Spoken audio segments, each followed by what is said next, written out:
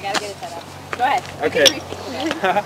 so we're here to uh, deliver uh, DSA's open letter to Greg Harms, the executive director of the shelter, the Boulder Shelter for the Homeless. They provide a much needed service to the Boulder community for housing people in, well not housing, but providing shelter for people who desperately need it.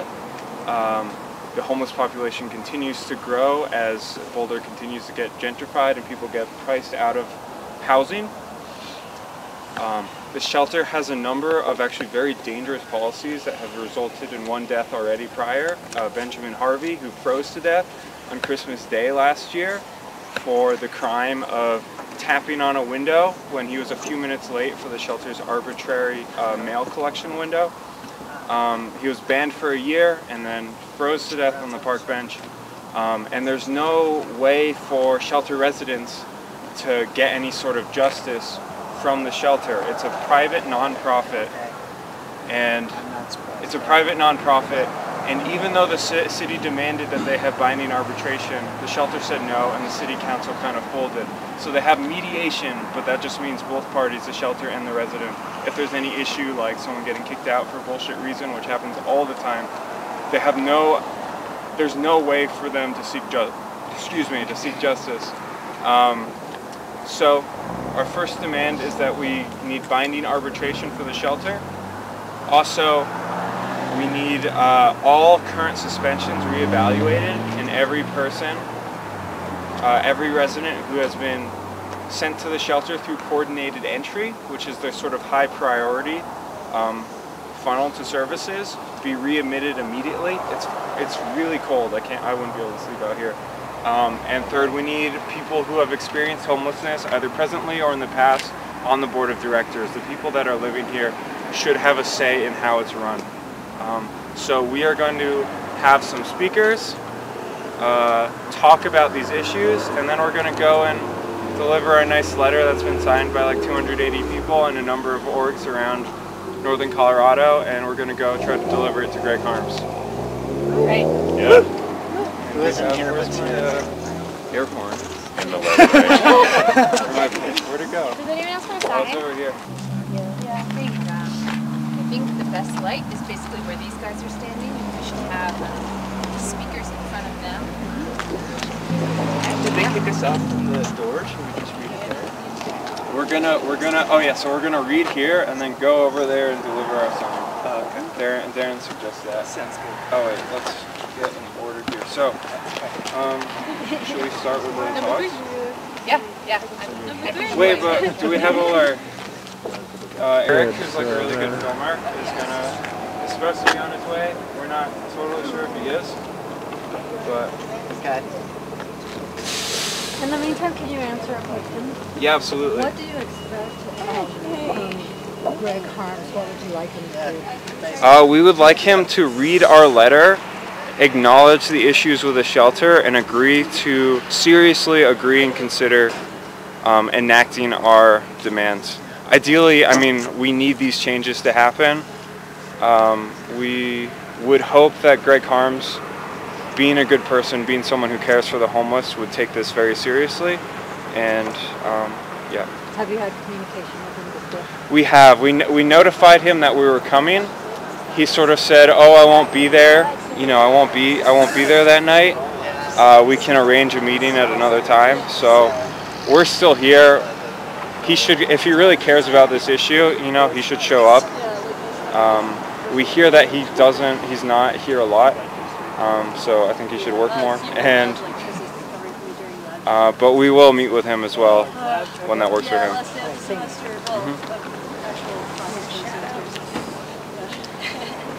I can't read this. Can you make sure you're sh- you're in the light? Oh, there you Yeah. Yep. Hey. Hi, Aaron. yeah. So you think it's better we give it up than behind the gate? I just think we need to be on public The true measure of any society can be found in how it treats its most vulnerable members. while we're doing most of it, and then only walk on their property to deliver the letter, and then count. practices that have led to people losing their lives in Boulder.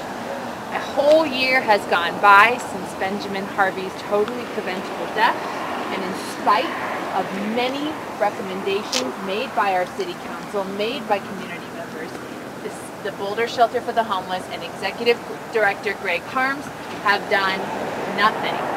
So we are here tonight to demand that these changes be made. Yeah, yeah. What do you guys think of doing it on the sidewalk? Darren says that's public property, and we can do it. It actually is.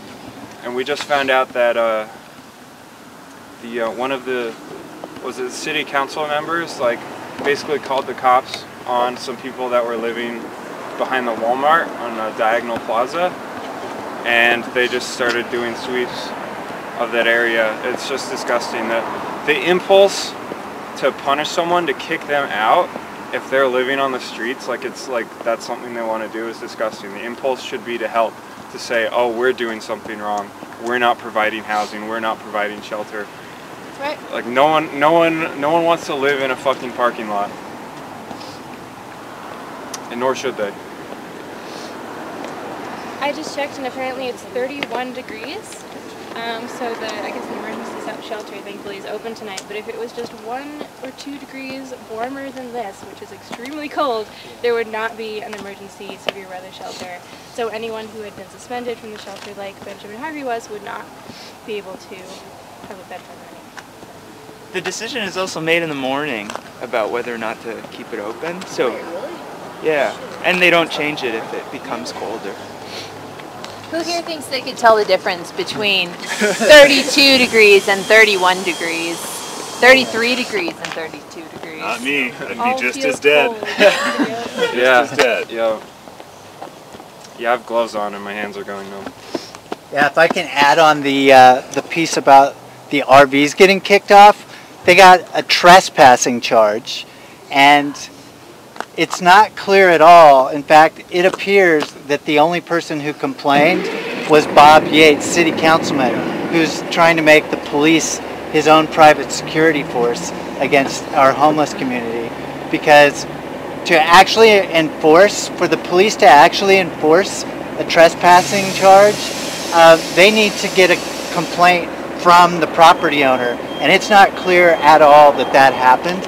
And so it's very possible that these guys are getting kicked out on false, uh, a false claim with no standing, such that legally they should still be there.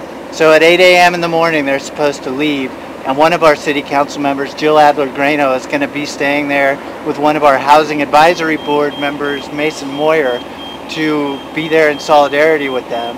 Um, but it's quite possible that there could be legal action to defend those folks if, if we could get lawyers to do that. nice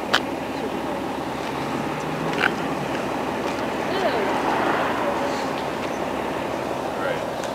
So, uh, I guess the plan is uh, I'm going to go to the sidewalk and uh, speakers will speak and then fracking we'll deliver the letter.